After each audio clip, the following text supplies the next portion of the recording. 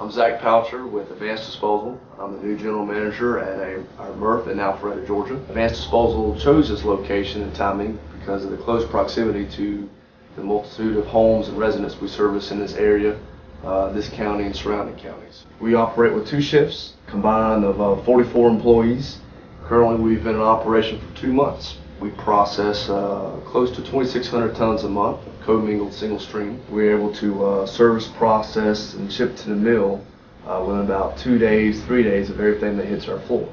We're able to process about 10 tons an hour on our sort line, manufactured by CP Group, and able to bale about four to five tons an hour uh, on our IPS baler. We currently receive uh, the different commodities, plastic bottles, milk jugs, uh, PE film, uh, cardboard, aluminum, tin, and newsprint.